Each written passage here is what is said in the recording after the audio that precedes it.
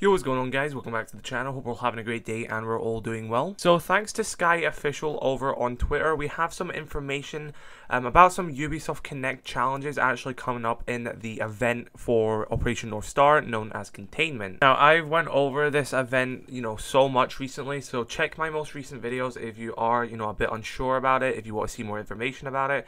And basically, it's releasing on August the 3rd, so today is the 1st of August, so just two days away, uh, this event is going to be releasing on Tuesday. And like I was saying, thanks to Skaj Official over on Twitter, we have some information about some upcoming Ubisoft Connect challenges, bundles, and skins which are going to be included in this mode. Now, these aren't going to be the skins that are included in the paid premium packs, they are going to be a separate thing, uh, which are still going to be coming out, but these are some separate stuff for owning Rainbow Six Extraction when it comes out next year, obviously because it got delayed, and also doing some Ubisoft Club challenges. So the first one he talked about, it actually says, earn your keep with this Ubisoft Connect challenge challenge, play 5 matches in the containment event to earn a full vigil set in Rainbow Six Extraction. So this is confirmation that some of the challenges for this event aren't even going to unlock some stuff in Rainbow Six Siege. It's actually going to be on the other spin-off game, Rainbow Six Extraction. So as you can see, one of them is just play 5 matches of the event and you get a full set for Vigil in Rainbow Six Extraction. Obviously, if you don't plan on buying Rainbow Six Extraction, you aren't really going to get much you know out of this. Um, but you might as well do it anyway. You might as well uh, you know complete the challenge. It's not hard in any way shape or form. And if you one day in the future do decide to get rainbow six extraction you will have a vigil set. So i guess that's quite cool. But the fact that it's only a set for a complete separate game which is behind like a $60 paywall is quite funny in my opinion i really think you should have got the skin in rainbow six siege as well but that's just my personal opinion. Um, another challenge he showed off is one that goes, show how hard you can work to fight the Parasite in this Ubisoft Connect challenge, win 10 rounds in the containment event to earn a full Nomad set. So unlike the last one, this one actually unlocks a set in Rainbow Six Siege and we actually have an image from Skaj Official of what this set is going to look like and just like reads here, this seems to be a Ubisoft Connect challenge. So a full bundle for a free Ubisoft Connect challenge is really cool. Um, I like how they're doing in this. I think it should have been you do this challenge and you unlock the skin in Rainbow Six Extraction and you unlock it in Siege.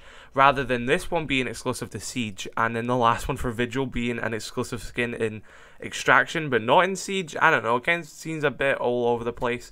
Uh, personal opinion, I think they could have handled that a bit better and, you know, just done it on, you know, do this challenge, you get a Vigil set in Siege and in Extraction. Do this challenge, you get a Nomad set in Siege and in Extraction as well.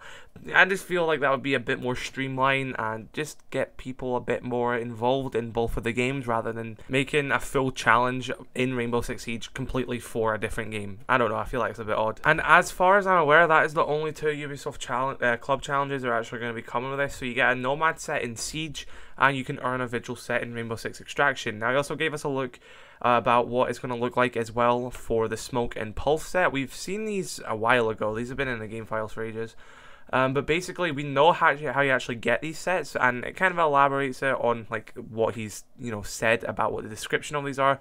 And basically, it says like, "Thank you for playing Siege and Extraction. Enjoy the Smoke set, and there's one for the Pulse set as well." But we actually known this from official bonus rewards coming uh, to Rainbow Six Siege and Extraction, which were revealed back when Extraction was available to pre-order, and its announcement that if you did own Rainbow Six Extraction and Siege on the same Ubisoft account, you got an exclusive Smoke and Pulse set in Rainbow Six Siege. So that's what these two skins are.